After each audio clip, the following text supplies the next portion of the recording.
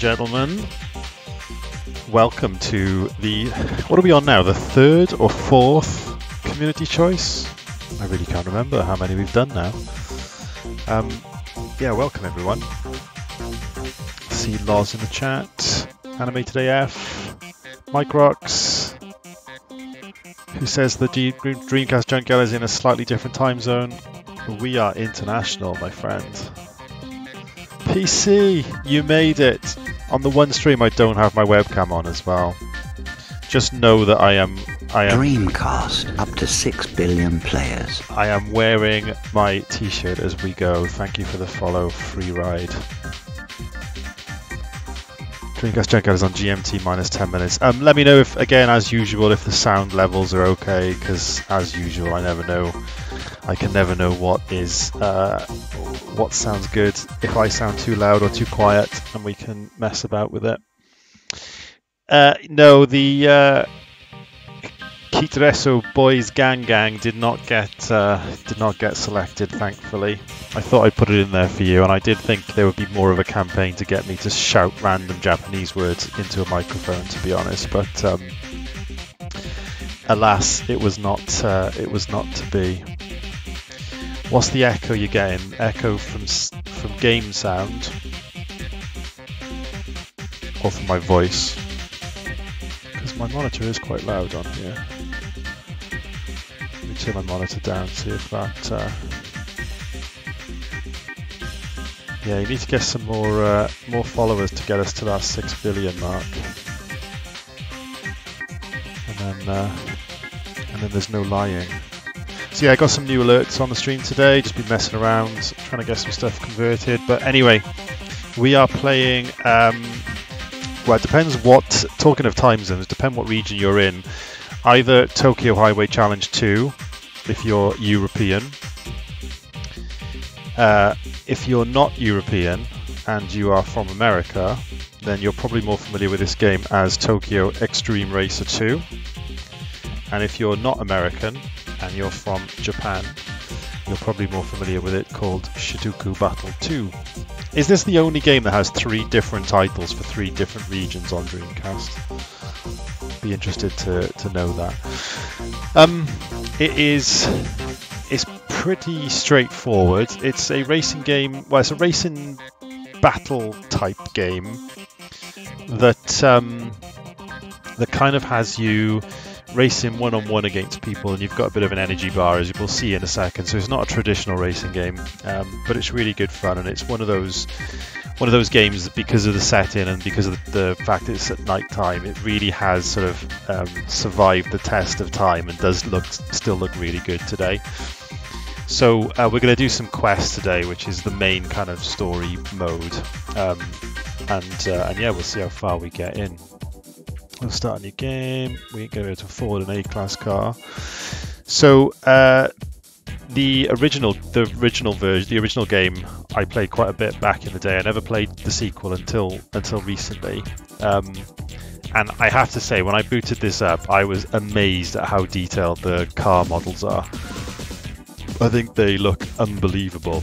To be fair, for this sort of technology, the, the, the you know because they were able to save a lot of the processing power because the the um, given the fact it's at night and obviously there's not much detail that goes on around it, they put it all into the car models and they look absolutely amazing. They really, really do. I'm super, super impressed with them. And if you're into your Japanese hot hatches, then uh, you'll certainly find some familiar, familiar cars. We're going to choose this, which is one of my favorite old school Japanese cars, the Honda CRX, which is a, an absolutely gorgeous piece of JDM machinery. And we can afford this, so we're going to buy it. Um, we are not going to change the name of this. Uh, we will have a number plate. Uh, let's go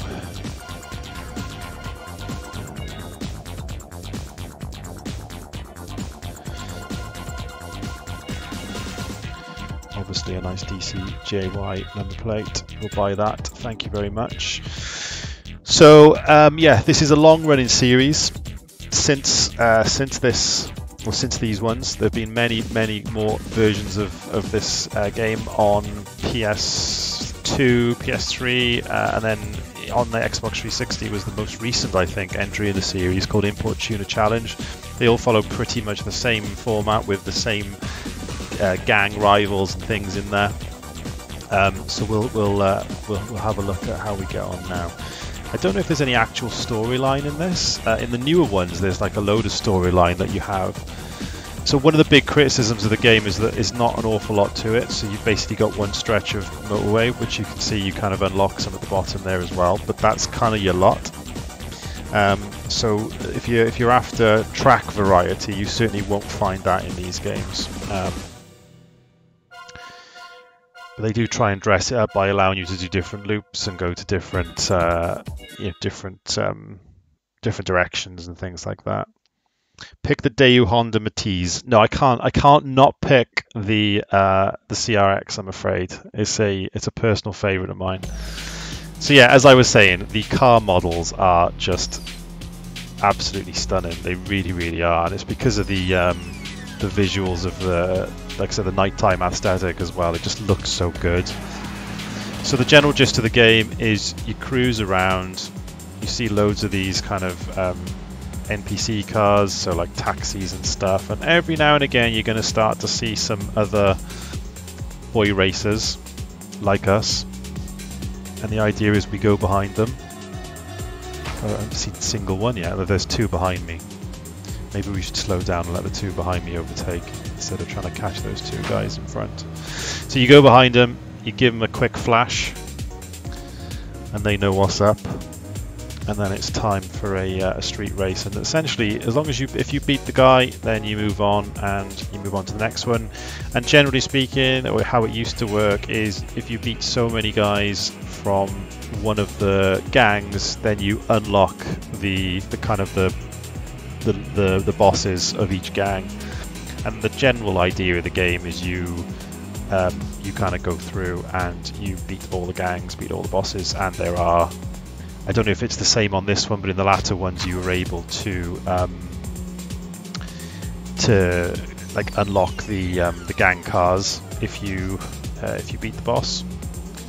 Right, so we're going to get behind this guy, give him a flash, and then we shall hopefully get our first win under our belt. And obviously, all as you do this, you are earning credits to upgrade your car, buy new cars, and generally take over the. Uh... Why can I not start this race? Oh, because I'm not pressing. I'm not pressing the right button. That's why. Right. So give them a flash. Here we go. Yeah, flash the gang members. They should put it on the back of the box. So you can see there, Rolling Boy.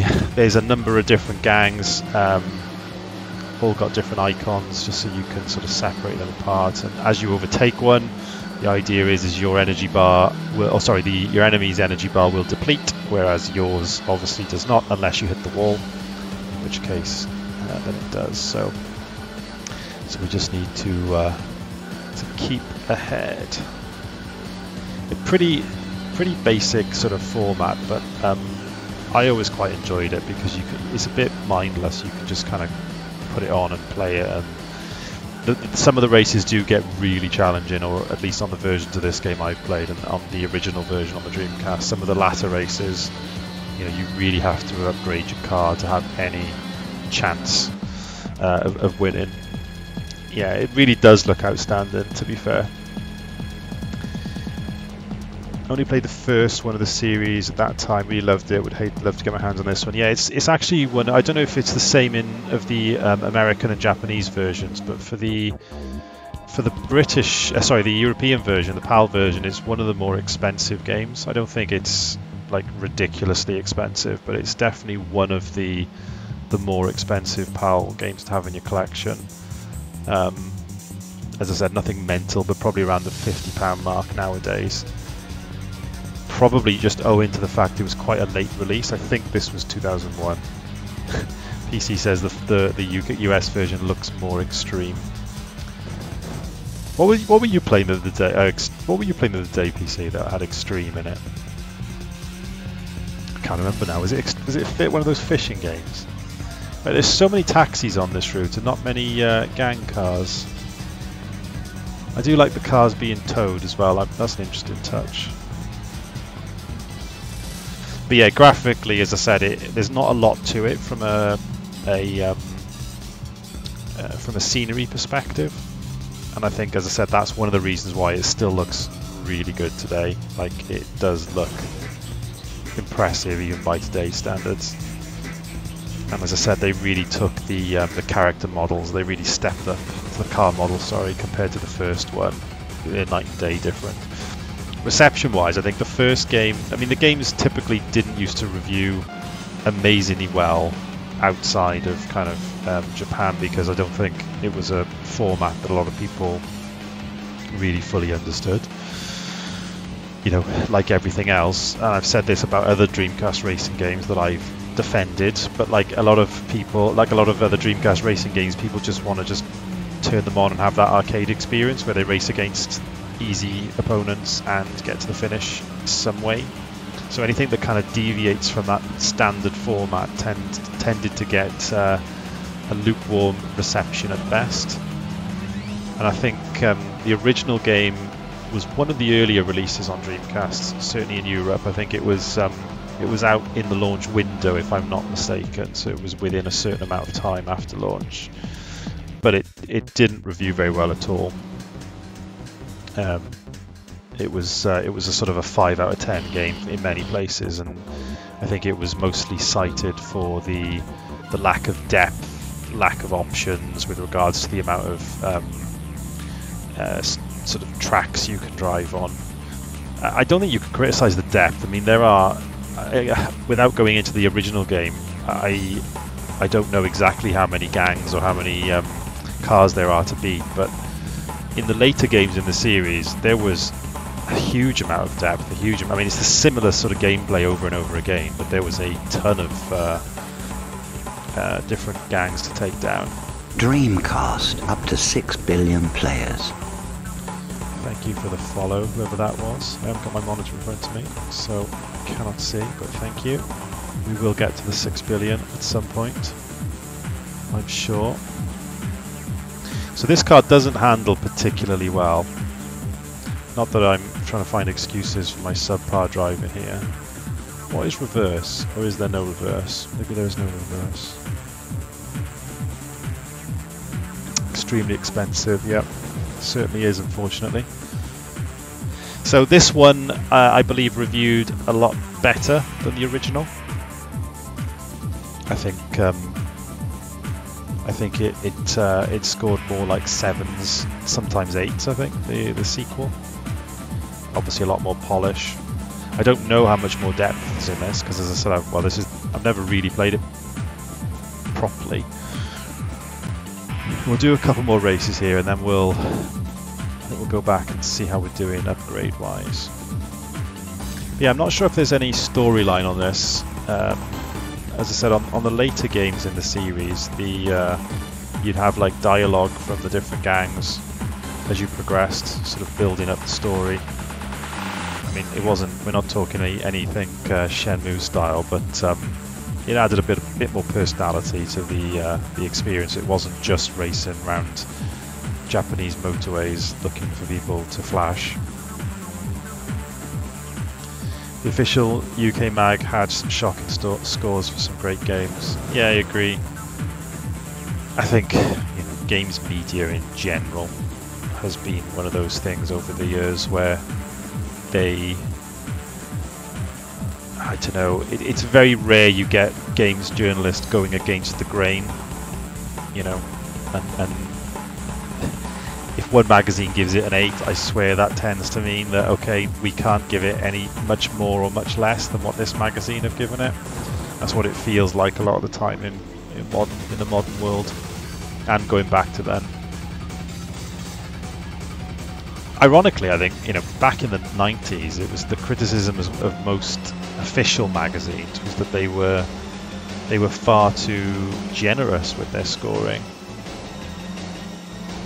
I must admit, I remember I was looking, flicking through one of the Dreamcast magazines the other day, and just seeing things like, you know, um, UEFA Striker getting eight out of ten. Now think Virtua Striker got seven out of ten. It's like, how did these games score so well? But then I was saying this in PC stream the other day. You know, you had games like Crazy Taxi, which don't get me wrong, is a really great game and very deserving of the praise that it got but like, there's no depth to that game at all. I mean, yes, they included mini games and, and things like that, but there is no there's no depth to warrant a nine out of ten for that game, which is what it scored across the board mostly. Whereas something like Super Runabout, which is perfectly serviceable, handles really well, loads of variety in the missions, was scoring like sixes. I'm not saying it's a better it's a better game, it's a better experience, but there is a there's definitely a big divide around um, uh, first party products versus uh, lesser known titles. I think lesser known titles really struggle to get any traction within the um, within the media. So I remember playing the 360 version of this game or the, one of the sequels, and I, I did. It is quite a relaxing game, just to sort of relax to and just drive around. There's no real, you know, restart. If you if you fail a, race, you just carry on with your driving and you'll catch up with them again and, and have a rematch. But we're beating all these guys pretty easily, so I think we'll do it. Let's keep going for now. And then we'll see if there is any dialogue or what we can do in the menu when we start to unlock these. It's got our uh, our mileage down the bottom as well. So keep, keep an eye on how far we're doing. See what sort of gas mileage we're getting. Can't agree with Crazy Taxi having no depth, each their own. Yeah, I mean, I'm probably being harsh saying no depth, but I mean, you know, it, there's not an awful lot to do, is there? Once you've uh, once you've beaten that game, I suppose it's it, a, it was a different world back then with a lot of games. The replayability came from high scores and um, yeah, perfecting your runs and stuff, but. Maybe it's because I was never amazing at Crazy Taxi. Right, so this guy is... Oh no, we've got him. Oop. Now, I don't know what the deal is if you take one route and he goes another, what happens then? Or will he just follow me?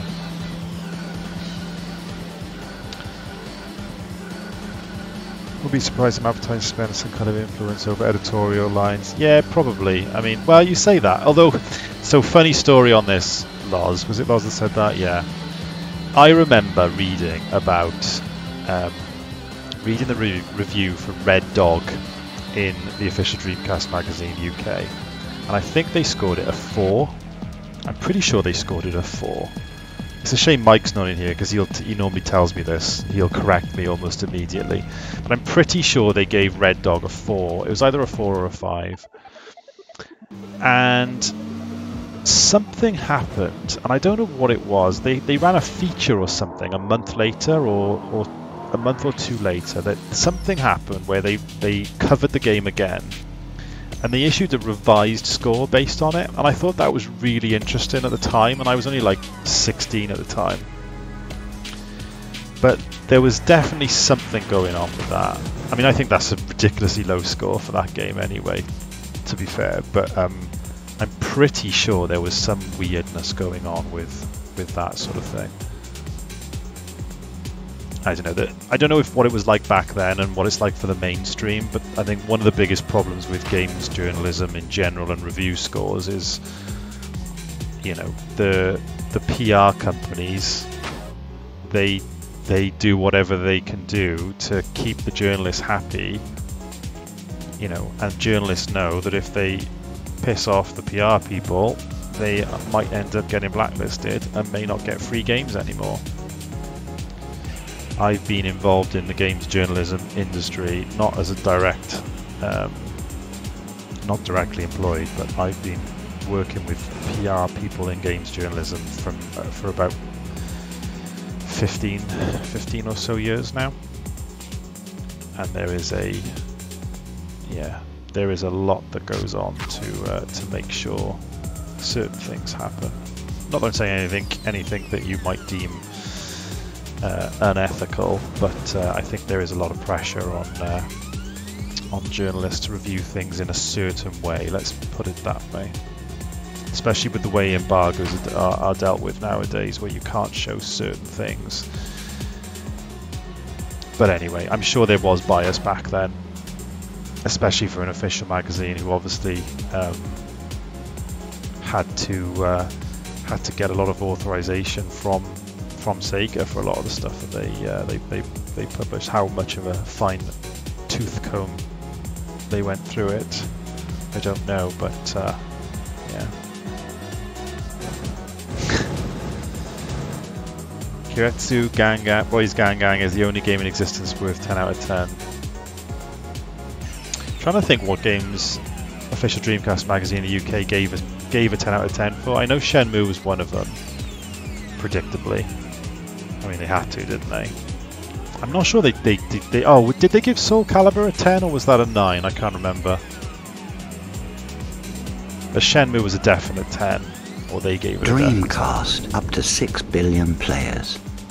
Thank you for the follow. Must admit that um, every time I can hear that, it uh, makes me jump a little bit now. Hey, Maddie. See you, mate. I know you'd love tuning in for a bit of retro. Back in the day, the guys I trusted were the crew behind CVG. Yeah, CVG was amazing. I really miss CVG magazine. Although it was always difficult to sort of, you know, factor anything from their reviews with it only being out five. Oh look, we missed that race because he must have gone in the wrong direction. That was really interesting. Right, let's go back to the uh, return to the garage and see what we can do with this uh, with these coins now. So four wins. I don't know what the Class C car plus two is all about. DC GameSpot only gave one DC game a 10, and that was Soul Calibur. Yeah, I, I, wouldn't be surprised if Soul Calibur got a 10 in Dreamcast Magazine over here as well. I know Shenmue got one, but then they gave Sonic Adventure a 9, so, you know, that just shows how crazy they were. I always seem to upset people when I try and say that Sonic Adventure was not as good as everyone thinks it was. Right, so there doesn't seem to be any sort of story at the moment, which is a bit disappointing. But we can see, okay, so we've got two more rolling guys to get in that gang. Knife and Forks. That's the worst gang name ever. Can you imagine saying that you were affiliated with Knife and Forks? Black Knights, Fine Drive, Curving Edge, Galaxy Racers, Max Racing, Elegant Wild Departures, Twister, Diamond Image, Rhythm Box, Wind Stars, Super Speedwagon, R Gangs, Cupid Arrows. So there's a lot of gangs. So you can see at the bottom it tells you when they're likely to, or when they'll appear. So most of it is you've got to defeat all of certain gangs beforehand. So there are a ton of gangs to take down in this. Wow. Loads and loads and loads. NFL 2K and Tony Hawk 2 got 9.9. Couldn't quite get that extra 0.1. Yeah. They needed online mode C, PC. If they had online, they'd have got the, the full 10. Don't mess. Knife and forks will fork you up. Absolutely. Right.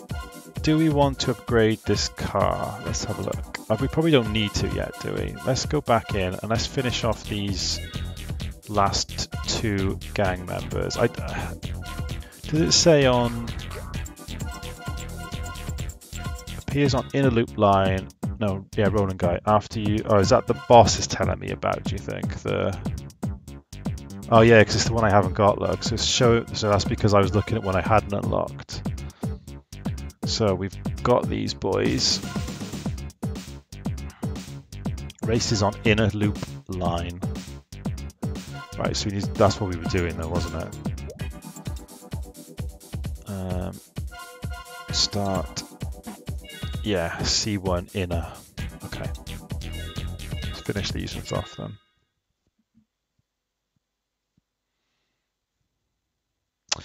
In my country, Spain, the bigger mag rate always rated so poorly Dreamcast games. Right by Sony. Yeah. There was some um, well, I'm not sure. I'm not sure how much that was the case over here, but CVG is Loz. I think it was you, Loz. Um, as Loz, was it you or was it animated? It. Yeah, animated. Uh, CVG was definitely one of the um, one of the best sort of impartial reviews. Although CVG did give Toy Racer one out of five, which I've never forgiven them for. So there is that blot on their history. Because we all know that Toy Racer.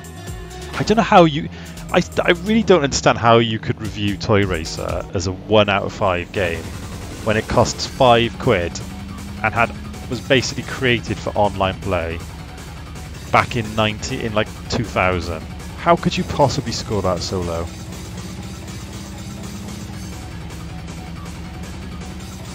Right. This guy might be quick because he looks like... Oh, maybe not. He's a different gang look. Although, for some reason, that, that race didn't didn't actually start. I wonder if it's because it didn't like it, the fact there were all these uh, other trucks around.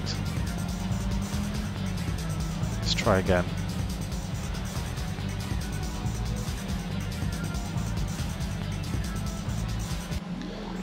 Unless he doesn't want to race me too scared.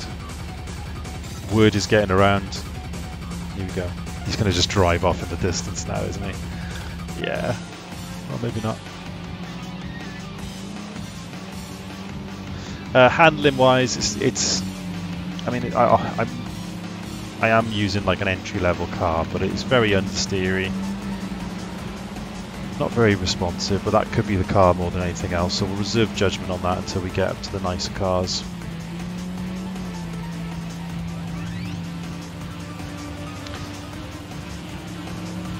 But this, um, in, in, Japan, there was an anime called Wangan Midnight. I'm not sure if anyone is familiar with it, um, which was very much aligned to this series. And I, indeed, some of the the late or some of the versions of this. Oh right, okay. So we've beaten all the boss. There's looks like a boss guy is coming out now. Oh no, it's a replay. Sorry.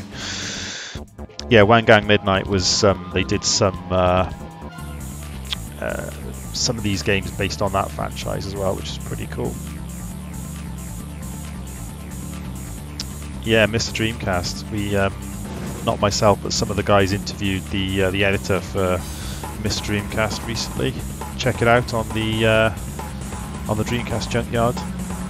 It's one of the one of the last three podcasts that we did. I'm pretty sure it was covered in there. And Tom, who runs the Junkyard, did a great article on the um, on the website about um, magazines in general. Actually, I don't know if anyone's familiar with the Out of Print Archive, which is a um, a guy who has been, I don't know if it's him or if he's got a team there, but he has been uh, scanning all of the old uh, magazines. They're amazing quality. All, all the, a lot of CVG magazines are on there actually.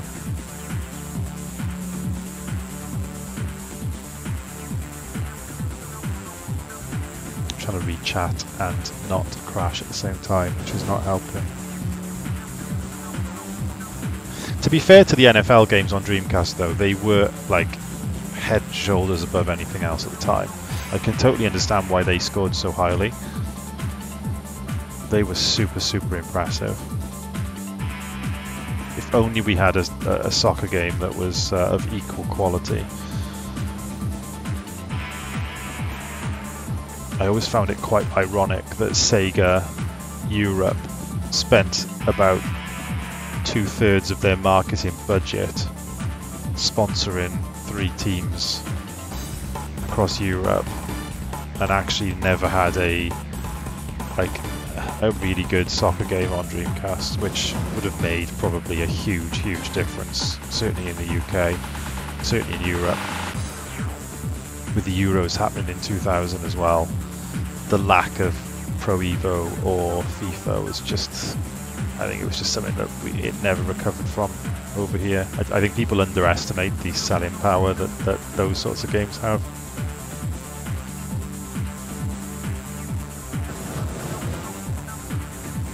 Well, they did at the time, Century Dish. There was, um, when Pro Evo first came out, they were on um, N64. Well, obviously, it started off on Super Nintendo, and then it was on PlayStation 1, which is when Pro Evo, that sort of franchise, the, the uh, ISS Pro rather than ISS Deluxe started. And then, of course, they were ISS 98 and ISS Pro were both on um, N64 as well. And then when we got into the PS2 GameCube era, I'm pretty sure uh, that ISS was on GameCube. It certainly was in, in Japan as Winning Eleven, because I remember uh, wanting to import it. I don't know if it ever got released over here. And then obviously when we got into the Xbox days, it was um, it was very much an Xbox title, Pro Evolution Soccer. So um, so it was uh, yeah, it was they released it on all platforms.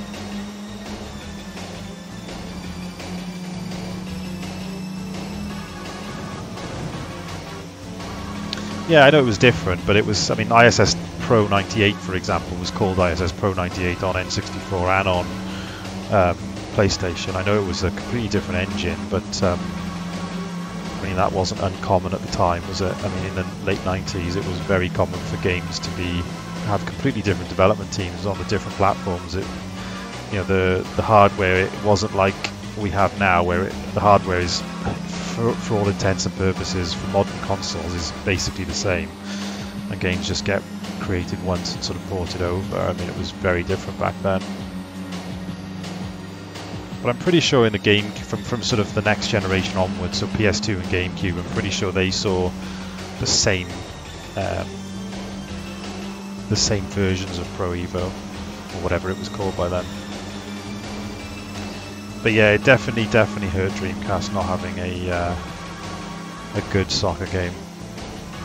And even when they did the the whole uh, arcadey type game with with Virtua Striker, it was um, you know it was uh, it didn't even it didn't even do that right. It was pretty pants.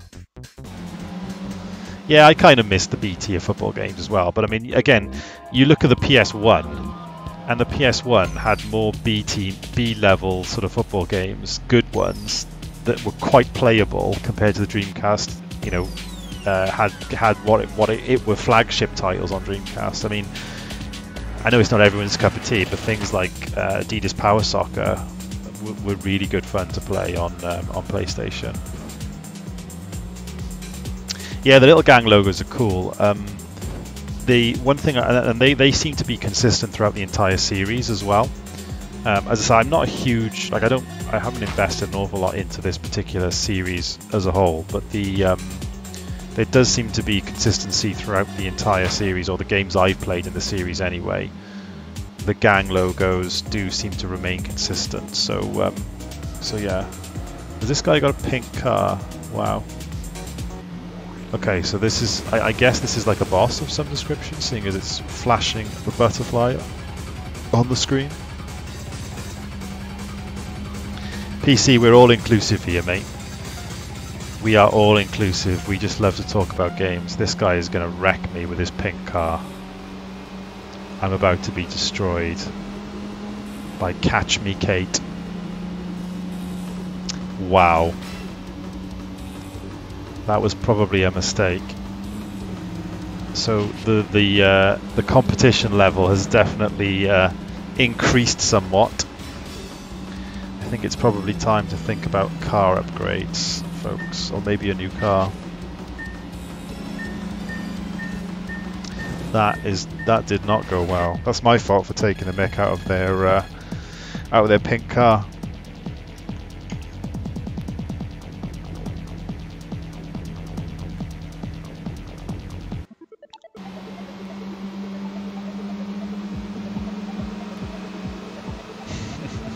Wanderer. Okay. It's a shame you can't see what cars are like out on the road. Right, I'm going to ignore that pink one, and there's there's there's a couple more ahead, so we'll see if we can take them down before we go back to the garage and uh, and upgrade our car.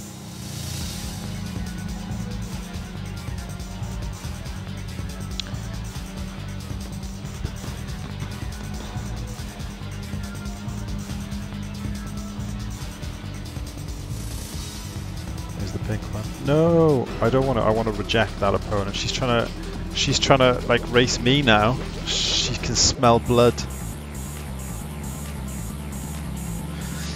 Yeah, there's definitely a big spike. I think it was. Um, it's just it's the nature of the game. I think you're just supposed to know when you need to uh, think about upgrading. I was thinking, I wonder if we deviated from the inner loop, which is why we've not now got the rest of those Wanderer, or whoever they were, Lost Boys, no, what are they called? I think it's more of a tease what you need to work towards, yeah, absolutely. Absolutely. There's very little in the way of signposting in this game to tell you exactly what to do and where to go, so I think it is very much kind of a, yeah, you really don't want to be racing this pink person yet.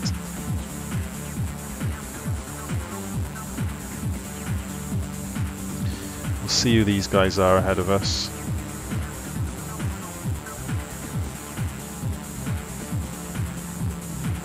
Right, we should be able to beat this guy. You can normally tell by the, the look of the car as well.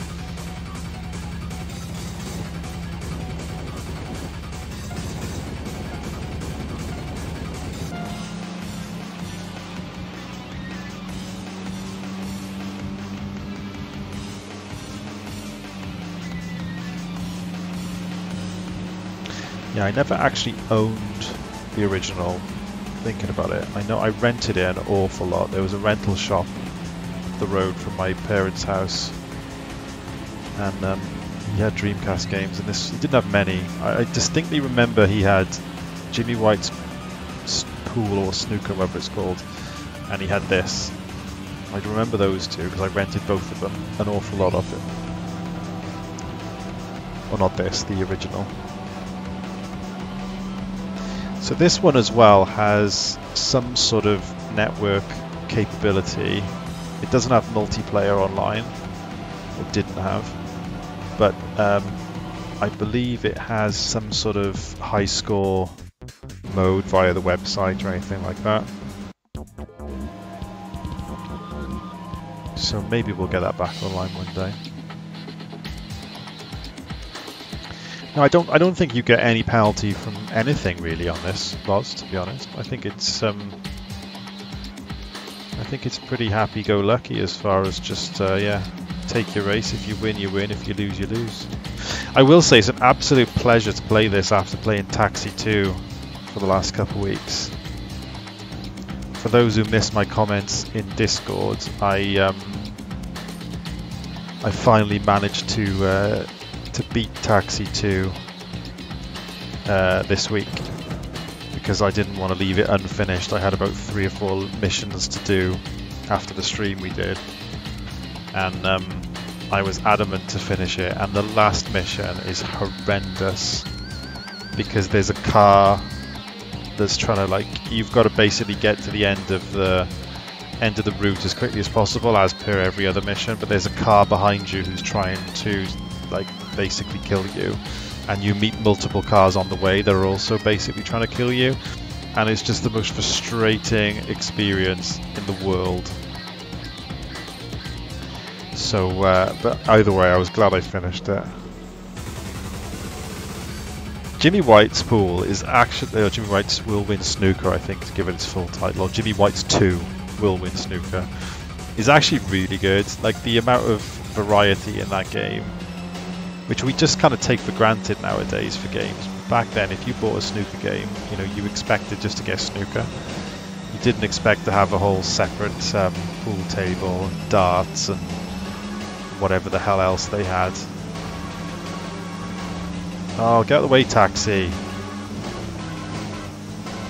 But yeah, I've since I, I own that game now. But um, back in the day, I, I definitely rented a few times. I think my dad, my dad used to play snooker a lot, and he wasn't. My dad didn't like games, but I was like, oh, let's buy this and play snooker together. It'd be really fun. And we played a game against Jimmy White, and Jimmy White just basically cleared up the table. It wasn't fun and I don't think I rented it again. I think I just rented Tokyo Highway Challenge multiple times after that. Good game though. But not a patch on Virtual Pool 2 on PC, which we played all the time. It's a shame Dreamcast never got a Virtual Pool 2 port. Although Maximum Pool is really, really good. Play that online quite a bit. Right, we're in trouble here. I can't really take any more hits. and need to stay nicely ahead of this guy, so I need to concentrate.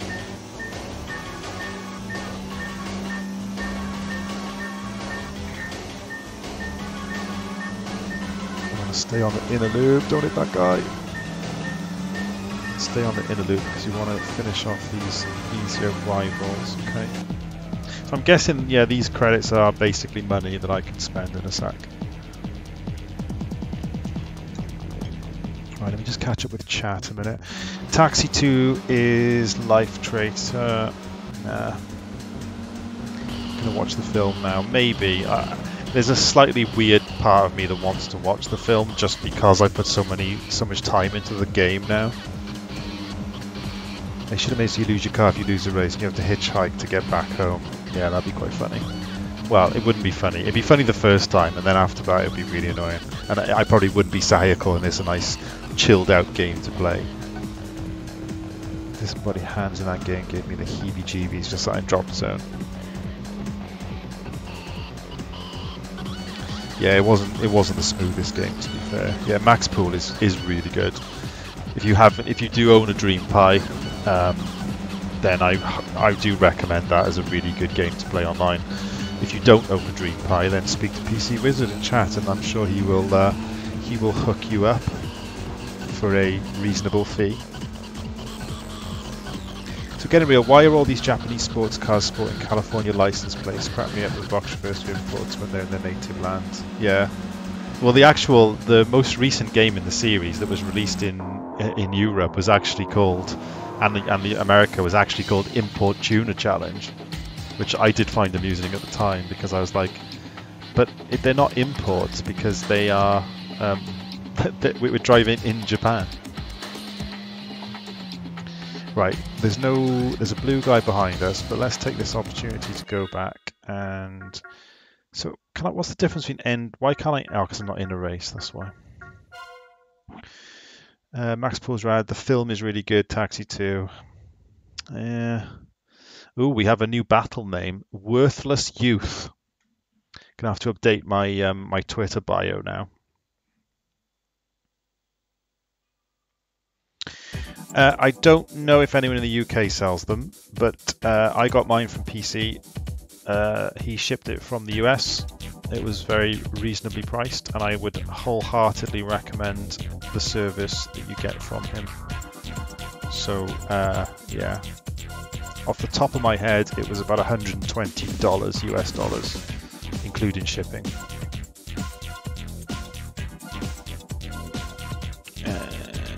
What am I doing here now? Do we want to buy a new car then? Or do we want to... Let's have a look how much a new car is going to cost us. So I'm guessing a... Okay, so we've got...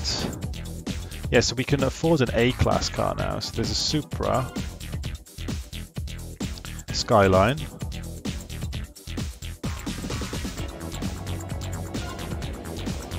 Spend those points on a speaker system and neon lights like a true boy racer. I tell you, when when the 17-year-old me was playing this with a uh, with a Honda Civic catalog on the on my bedroom table that I was aspiring to one day be able to afford, I, I would have thought not twice about putting neon lights underneath it. Yes, Dreamcast Live does have all the instructions to make a DreamPi. Just depends whether you are so inclined. Right, well we can, the good news is we can afford an A-class car. Oh, a nice little Evo. So I'm thinking we do this, and that'll save us upgrading. That'll give us a bit of a, a bit of a boost. Ooh, a nice Subaru as well. What do we go for? These are all the same. Oh no, the 280 or 250 brake. So, what's it going to be, folks? Oh, we should get the NSX really, shouldn't we? I do like NSX, so this is in my dream garage. If I could afford an NSX just to sort of have parked up for occasional drives and track days, I would 100% own an NSX. They are stunning. Especially if you get an NSXR. I'm going to go for NSX because no one has said otherwise in the chat. We're going to get a black NSX. Oh, hang on. I thought we did have enough money. I've got... Hang on, I've got a... Oh, it's because I'm looking at the wrong bloody screen, yeah. So we can't afford that. Can we afford a B class? Yes, we can afford a B. Is that a Lexus?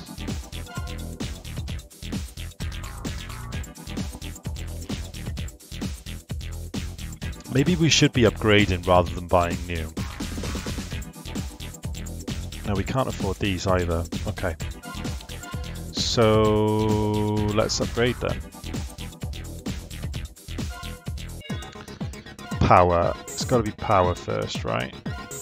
So 3,200.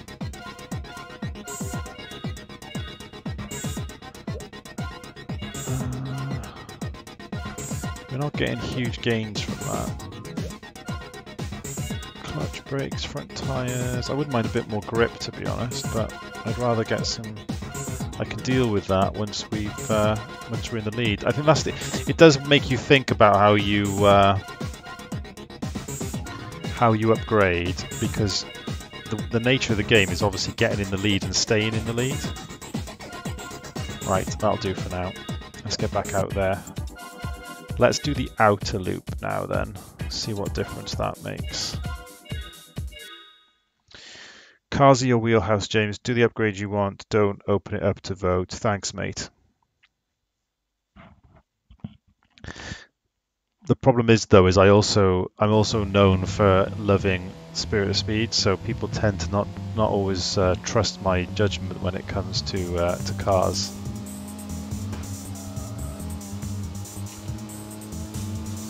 Right, we're staying on. Oh, I just gone on the inner now. After I said I was going to stay on the outer. Never mind. There's a blue guy here. We're going to chase down. So this car feels a lot quicker already. Nice frame rate on this game as well. Again, I think it's worth you know reiterating that um, it is. Uh, oh, this is a this is a bit of a nightmare. We need to go on the out outer. I'm going to go back out, go back in. Um, yeah, I'll reiterate that obviously it's afforded the luxury of being able to run at a nice frame rate because there's not an awful lot going on um, in the background and stuff. But um, you know, it is what it is at the end of the day, and it's uh, it's still a super super impressive game to um, to see to see running at the end of the day.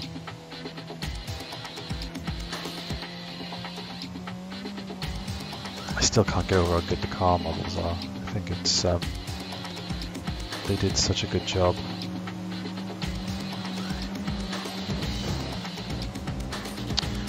Now, what I kind of want to get revenge on the pink guy before uh, before we finish. Now, that's going to be the aim for the rest of the stream: is to level up enough to be able to take down Pinky. Right, we're staying out. Uh, staying out. Uh,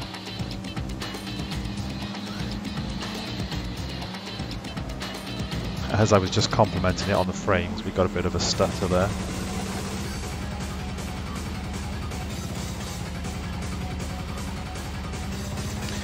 I didn't. I don't think there is an official license with this game. I don't think the cars are, are actually branded as Honda and Mitsubishi and so on.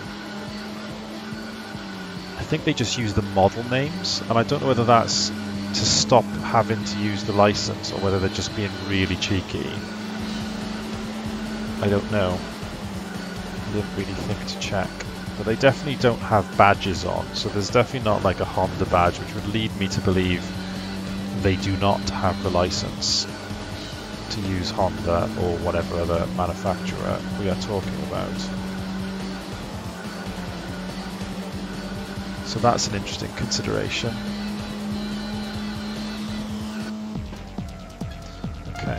Just unlocked the car then as well, I think it just said. So it's, a, it's very grindy, this game as well, I would say. It's very grindy if you like a grind.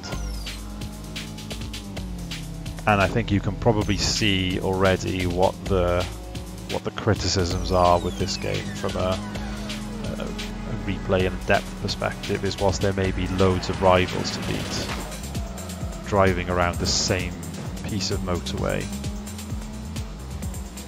does get a little bit dull after a while. And I think, you know, if you think back to this sort of era, racing games were still in that whole we're going to have a forest phase, we're going to uh, stage, we're going to have a an ice track, we're going to have a um, you know a jungle track, we're going to have, and they were very distinctively different looking tracks. So I think having just this one nighttime version of the uh, Japanese motorway was probably very, uh, very much more obvious then than it was now.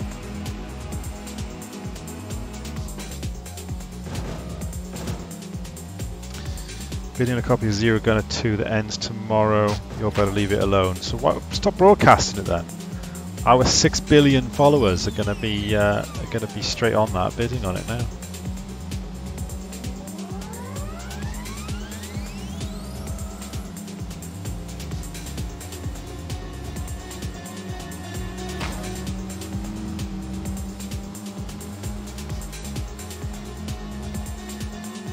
Right, this car feels quicker. I think we should go back to the inner. I think we should go after Pinky. I will also say that having played, as I said, the more recent entries into the uh, into the series, I was mentioned earlier on about the storyline.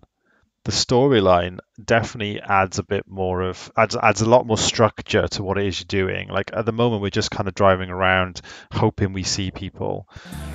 Whereas, as basic as they were in in the newer games, where they've got the bit of a storyline, you know, which kind of just tell you that you need to look out for X, Y, or Z, and they normally hang about here, here, and here.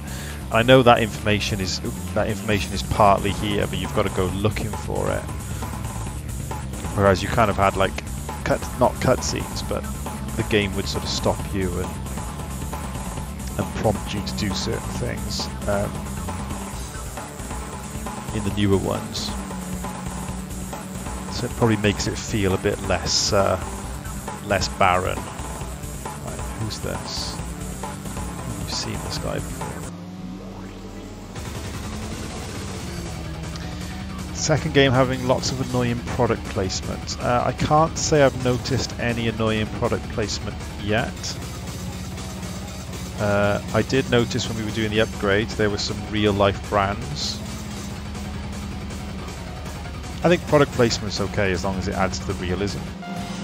When it's obviously being shoehorned in, then no. But when you've got like if you're looking at air intakes and the product placement is a, a HKS badge or something, then that just makes it feel more realistic in my opinion.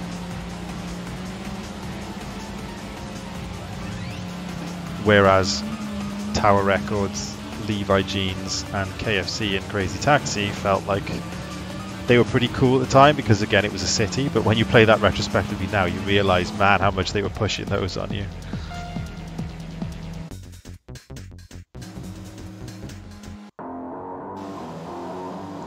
The product placement was the signs being replaced with Western import racing brands. I will have to look harder for them then.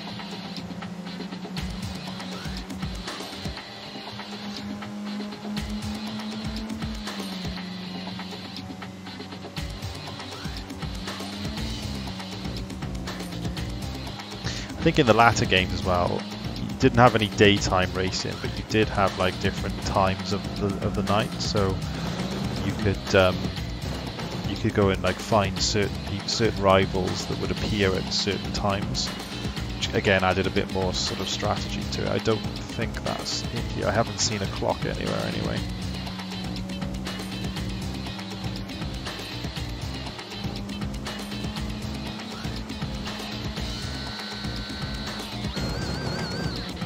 Yeah, some some product placements in games are awful.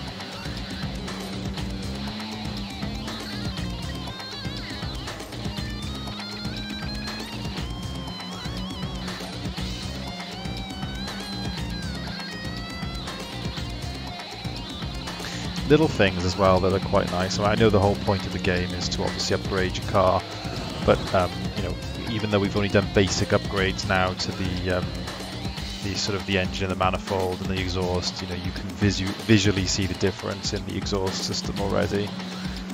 You know, that sort of detail is pretty cool, especially seeing as, you know, arguably the people who are going to be interested in this sort of game are those who do enjoy modifying cars, potentially, which would explain why they've changed the product placement, the marketing around those brands for that exact reason.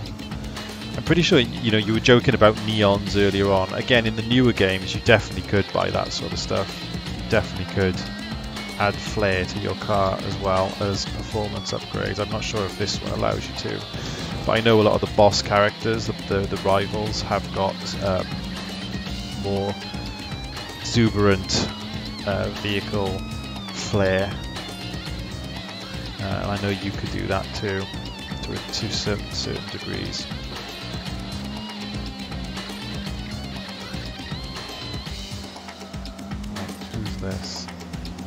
Nice we're trying to race against some non-white cars. Like this cat sign, yeah. I I did laugh about the I did notice the cats one earlier and think it's uh, I did think of the musical as well, funnily enough. Right, these rivals are definitely a lot harder. Luckily, they are very uh, eager on the brakes, should we say, so you can often get ahead of them and then uh, try and keep them behind, they'll just let him back through. Didn't see what car he was in, I don't know if it's like an FTO or something, I couldn't really see. Oops.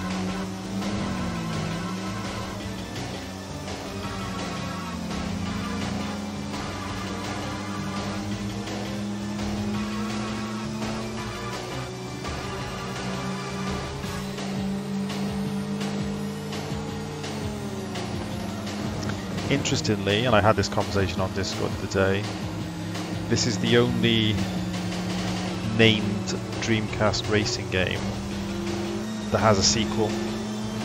So, as in, what I mean by that, it's the only Dreamcast racing game that has a number one and a number two. Uh, sorry, one of the only. There's one other Dreamcast racing game franchise that has a number one and a number two. Uh, if anyone can guess what that is, or if anyone knows what that is, you get bonus points. I think, Mike, it was you and I having the conversation in Discord about it, so you don't count. Does anyone else know the other direct sequel racing game on Dreamcast?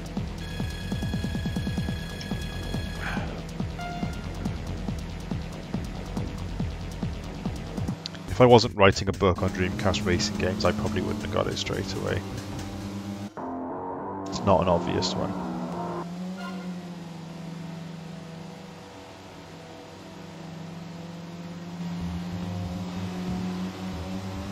It's not Test Drive. And the reason I say it's not Test Drive is because those games weren't Test Drive as far as I'm concerned. In Europe, they were not Test Drive games. Test Drive V Rally, Test Drive Le Mans, and Test Drive. Well, Test Drive. I don't think Test Drive Six actually came out in the in the EU, did it? I don't think it did.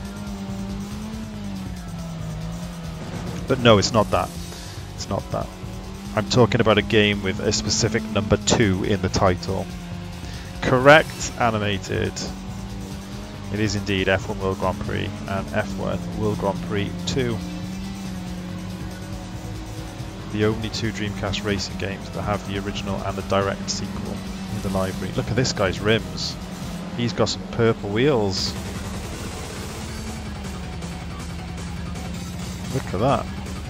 See, now that definitely said Prelude on the back of it then. So it's, it's weird. They've got like the um, the model names, but not the manufacturer names.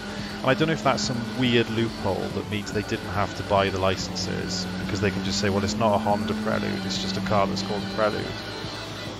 And I don't know if like copyright law was quite as tight back then as far as game licensing as it is nowadays. But they couldn't have had the full license because they would have had Honda logos on otherwise. I, like, there's no reason why they wouldn't have a Honda badge.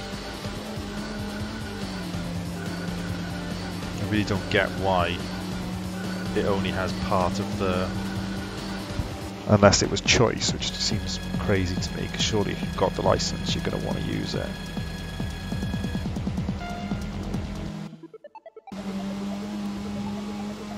pretty nice replay as well different angles nice and smooth again I think replay modes were something that was um, you know by this point in in 2000, 2001, replay modes in racing games, the novelty had worn off a bit, and I think people could start to see that how messy they actually were, and the, the game engines didn't look particularly great when you uh, when you saw it back in replay mode. Not true of every game, of course, but um, I think that looks pretty nice. So I guess the question ultimately, like I always try and answer on every stream we do, is should you go and play this? And I think I would say yes. It's um, it's an acquired taste for sure, which feels like almost every Dreamcast game I play, I say that about. It's definitely an acquired taste. I don't think every racing game fan is going to like it because I think a lot of people will get bored of it Um, unless you're into the collecting side, I certainly re- wouldn't recommend buying it, given the, the high prices that it demands. If you have like a GDEMU or other means, it's definitely worth playing just to sort of uh, give it a uh, get a feel for it. As I said, I, I you quite easily kill an hour or so on this just driving around. I think if you have a very set sort of path about how you want to get through the game and get everything finished, and you're just kind of quitting out back to the menu all the time just to sort of get back in as optimally as you possibly can, I don't think it's going to be as enjoyable. But just to kind of, uh, yeah, exactly. It's in short bursts. It's it's good fun. Okay, so this looks like another boss then, or certainly something significant with that horrendously low res uh, icon popping up on the screen. So we can assume we're going to get our ass handed to us again here. Especially if this taxi doesn't move out of the way. I love it when these the, the, traffic basically gets in the way so much that the, the races just cancel and they've got to start them again.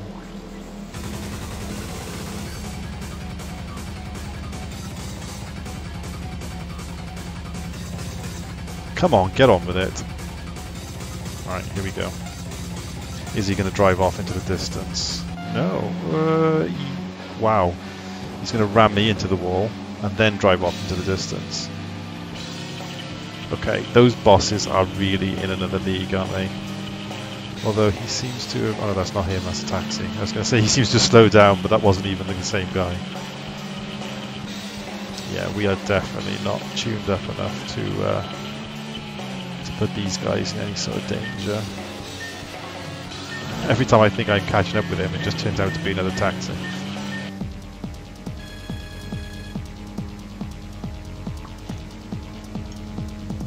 Yeah, definite short burst game. I would I would totally agree with that.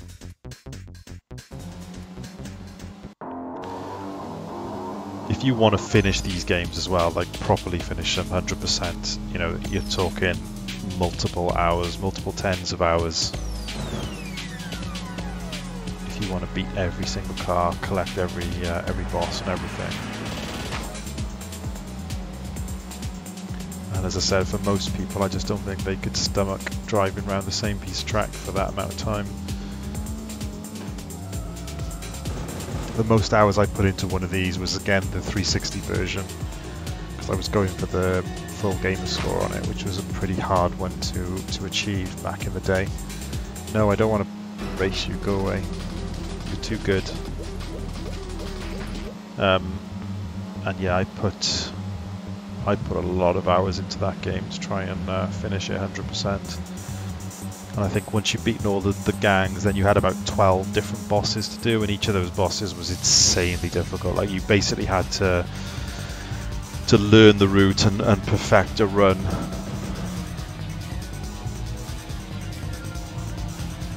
And um, yeah, it's uh, it, it, became uh, it got to the point where it was just like I'd, I'd invest so many hours into it, probably like close to 100 hours, and it was like I'm not leaving it with three bosses left to finish or something. So it was just every day you just practice for like a couple hours just to try and perfect that route.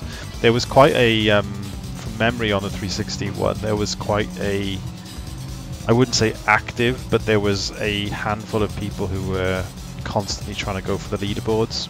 And again, as you can imagine, the leaderboards, to improve the leaderboards on half of these games, it, it literally was you do something a fraction better. Don't you miss achievements, trophies in old games? Um, yes and no.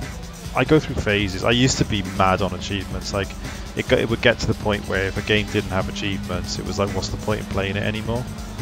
Um, as I said, it, I, I kind of go through phases, but I think um, a lot of the time it's just nice to, to pick up and play a game without the worry of, not the worry, but it's a bad word for it, but I think people feel like they have to they have to unlock everything. And, and the thing about most achievements in most modern games is they're if they actually added something to the gameplay, like if they added um, made you play the game in, a, in, a, in, an enjoyable different way, then that'd be fine. But a lot of achievements don't. They they just a lot of them are more frustrating than anything else. There are some websites. I don't know the name of them off the top of my head, but there are some websites that kind of have achievements for old games. Obviously, it's not automatic or anything, but it does uh, give you certain like um, ways to go about doing things. Some of the games, like Xenocider that we played a couple weeks ago, obviously it's a new it's a new Dreamcast game, but that's got achievements built in as well, which is pretty cool. yeah, I do like. I've got nothing against achievements. I do like achievements or trophies in general. Um, yeah, retro achievements. That's what I was thinking of.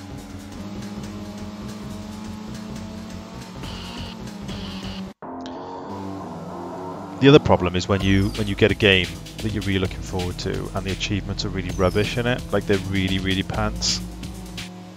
It's it's almost uh, a that has the opposite effect of making you want to play it more then. It kind of makes you think, I can't be bothered with that because I'll never get those achievements.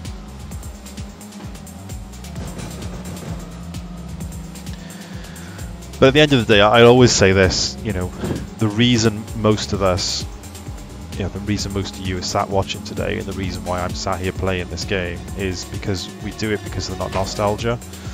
So I'm not playing it because I want to finish the game or I want to do X, Y, or Z. I'm playing it because it reminds me of a time that made me smile when I was younger and enjoyed playing these games. And yeah, it's great that these games still feel really good to play now.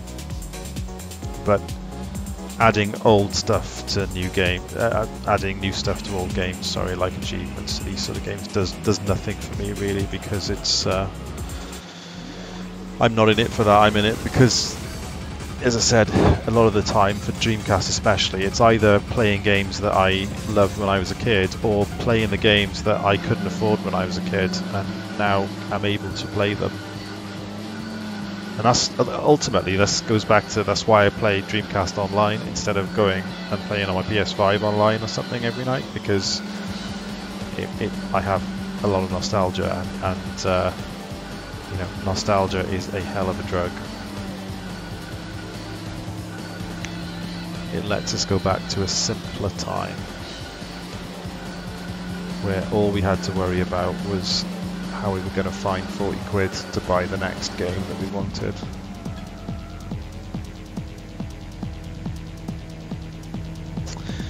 So, uh, Xenocider, I'm not sure if you watched my stream of Xenocider uh, animated, but um, th there is a there is quite a nice arc to the difficulty to it, as in, oh, we're getting challenged by the uh, the boss man now, and we might be able to beat this guy because this is the first group of uh, uh, the first gang.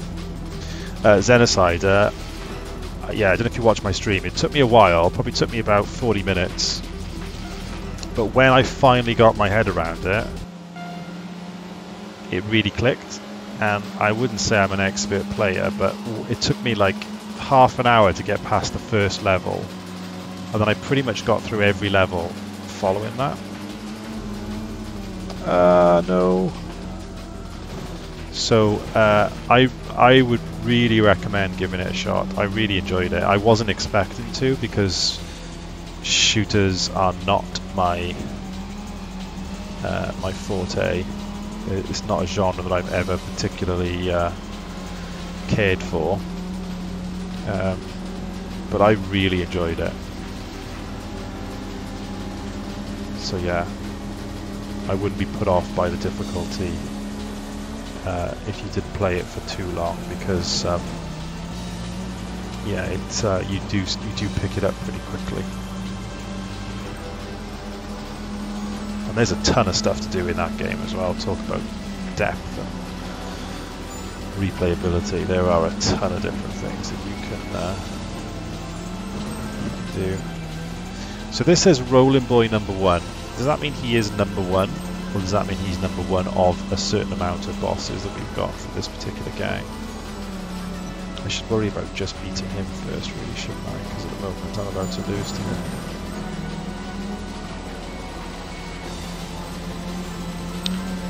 Oh, don't get ahead.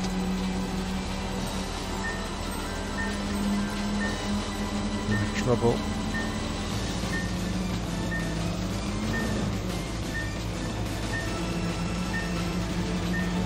He's just gonna do me.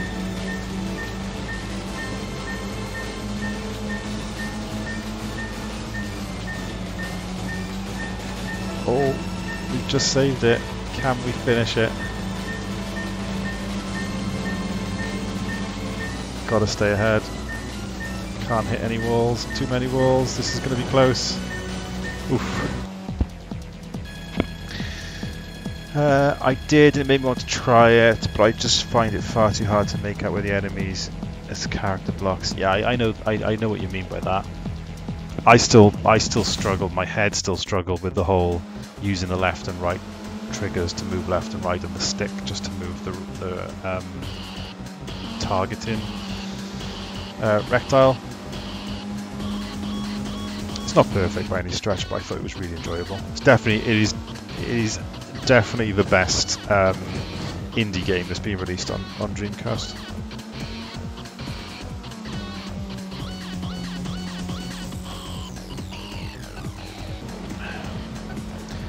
Right, so I think that was the boss.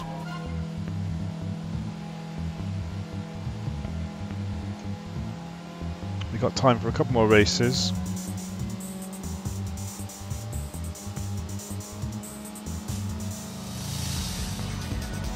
We'll race these uh, these blue guys. Oh, they're going outer, I think. Okay. Uh, don't forget, next week is the book club stream. So I'm not going to be on that one, but uh, as usual, Kev will be hosting that with. Um, I think Andrew's going to be on it, and I think Lewis is going to be on it as well.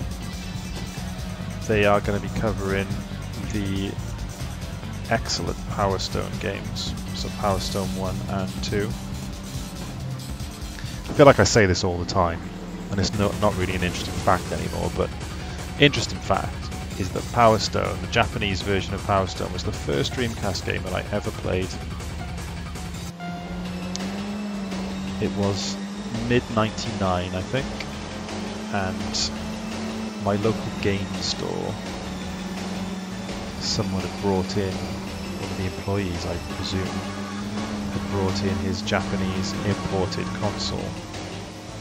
And they used to have a really huge TV uh, at the back of the store where they used to do like dem customer demos if a customer wanted to see a game running before, but the TV was huge, like back then. Um, it was like multiple sort of flat screen plasmas or whatever the hell they were back then. No, it couldn't have been plasma, it must have been CRT. But anyway.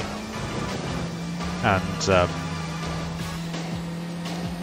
yeah, they had the Dreamcast running, the Japanese one, and um, first game they booted up was uh, Power Stone. And that was my first experience of using a Dreamcast controller and playing a game.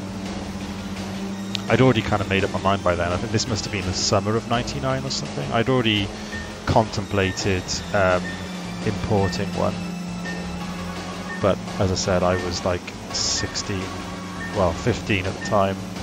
I was 15 and poor, so uh, importing was unfortunately not an option for me. And actually, I didn't end up getting one on European launch in October of 99. Didn't have quite enough money, so I had to wait for my birthday in November and I remember it well because I got the rest, I think I was about 50 quid short or something like that, and I had the rest of the money for my birthday. Um, and my dad took me down to Comet because it was down the road from where we lived, and I bought my Dreamcast on my, my 16th birthday at Comet.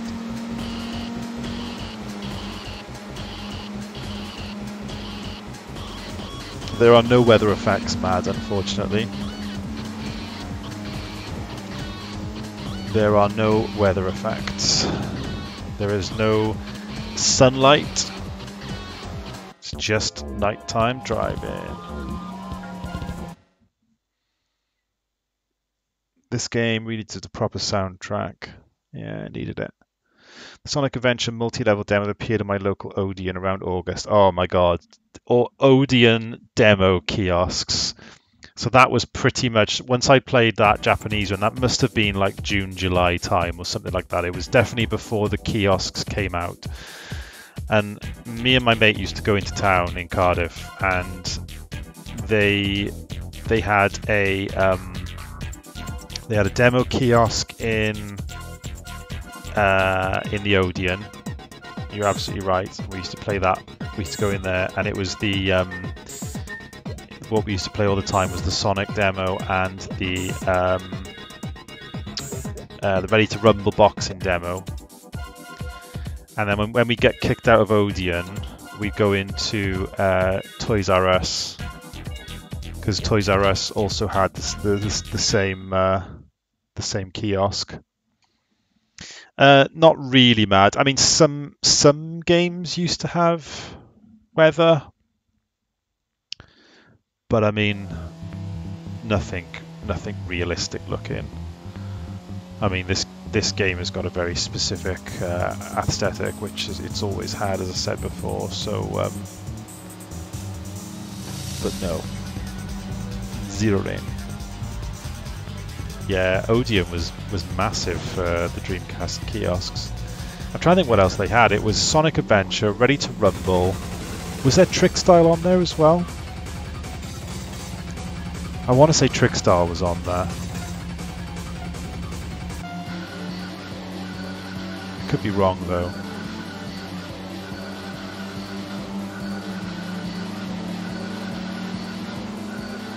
Man, Ready to Rumble was such a good game.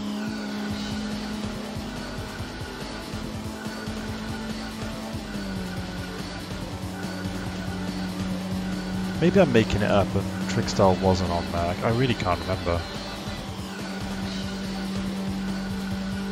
But yeah, Odeon and Toys R Us are the two that I definitely remember. I can I can picture where the kiosk was in the Odeon in uh, in town as well.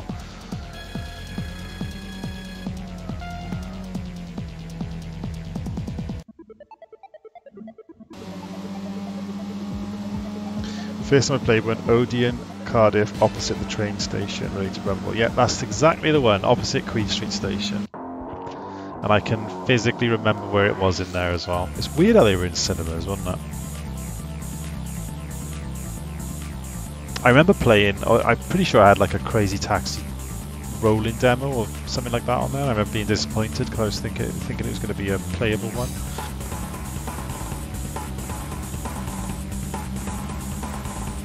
And then when I got my Dreamcast on my birthday, I've told this story before as well on, on the podcast, I think, but when I got my Dreamcast on my birthday, uh, again, woe is me, didn't have enough money for any games, so um, I basically lived off of the Dream On demo disc that came with the console and the first magazine demo disc, which was basically that Sonic Adventure demo and Millennium Soldier Expendable.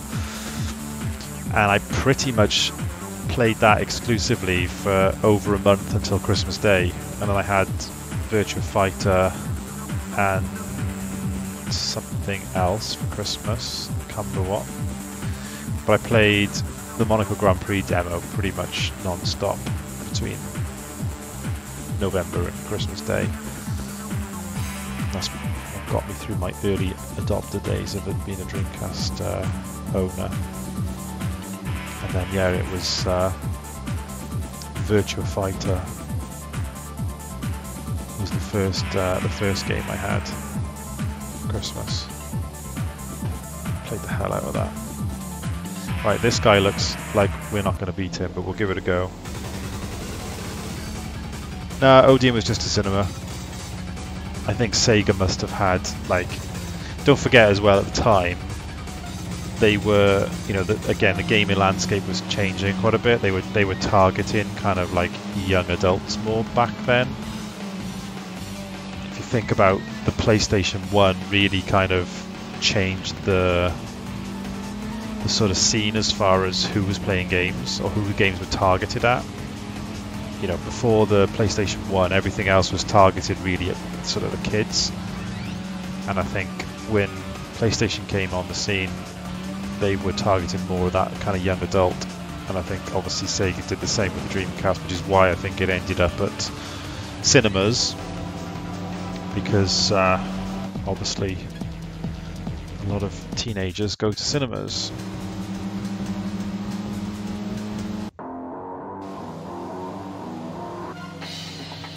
And I think, you know, the Saturn didn't have a particularly great presence in the UK.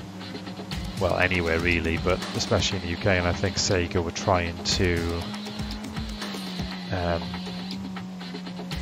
reinvent themselves in many ways with Dreamcast, weren't they? And I guess trying to appeal to a. Uh... That's interesting. That that build on the left there had the Japanese name of the game written on it. Um, yeah, they were trying to reinvent themselves a bit, weren't they? So, uh, trying to appeal to, uh, to that. Oh, pick a side, any side. I was trying to look at the map then and decide which way I wanted to go.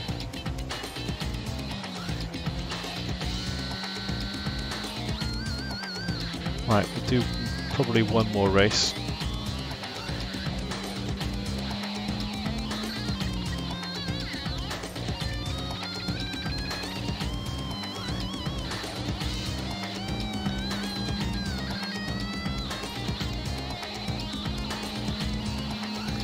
And as we all know, the biggest problem with the Dreamcast marketing was not so much the marketing they did, but the fact that most people were waiting for PS2.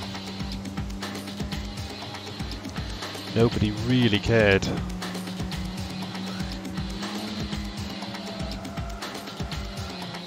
Which, as we know, is just a side footnote in history now.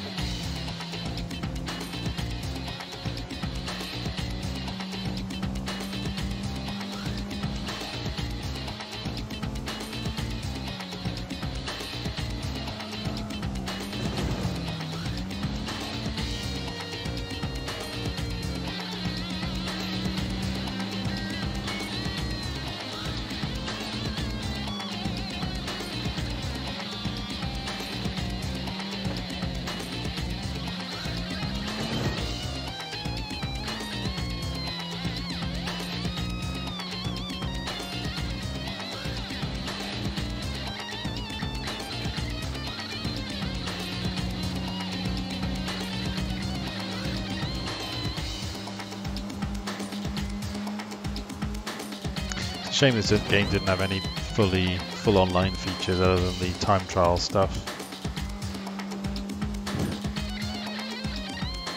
I always say it may have made the difference between the game doing well or not, but then I don't think people were really that receptive to online gaming even back then.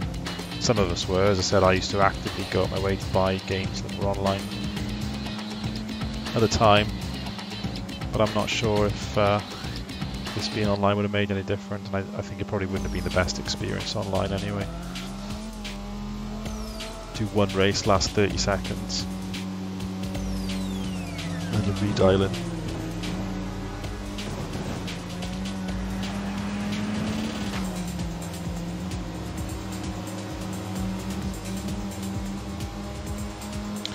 Right, come on, this is our last race, let's make it a good one. Who's it to be?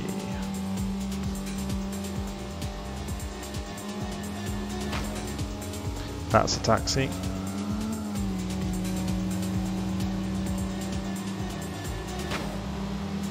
Looks like a Honda Civic to me. Ooh, that might be a new gang as well, the Galaxy something or other, I saw that. That is definitely a Honda Civic.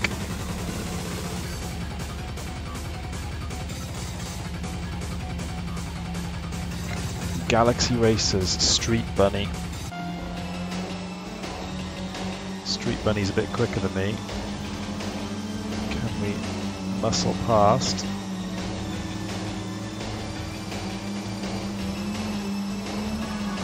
So that we can finish on a win.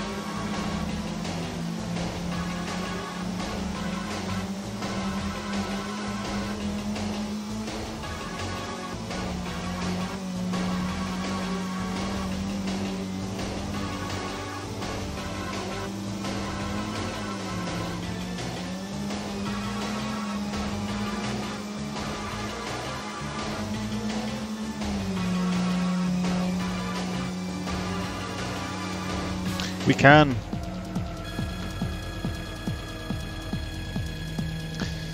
We can. And that has been import or Tokyo Highway Challenge 2 or Tokyo Xtreme Racer 2 depending on what floats your boat. Um, thank you everyone for tuning in tonight. Very nice looking game. Something that really works even by modern day standards. Uh, we'll be back for the community choice, as I said, probably in a couple of weeks. We seem to be doing this every other Saturday at the moment, which works pretty well for me. Um, we'll do some impromptu streams in between, I'm sure, like the Taxi 2 one.